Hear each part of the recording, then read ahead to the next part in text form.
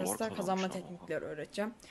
İki tane e, basit tekniği söyledikten sonra için çok geçeceğiz. Şimdi rakibiniz sert biri ise taş yapacaktır. Siz kağıt yapın. E, Rakibimiz sert biri ise taş mı yapacaktır? rakibiniz korkak biri ise makas yapacaktır. Siz de taş yapın. Ya ne alakası var amına koyayım? ola- olarak gösteriyorum.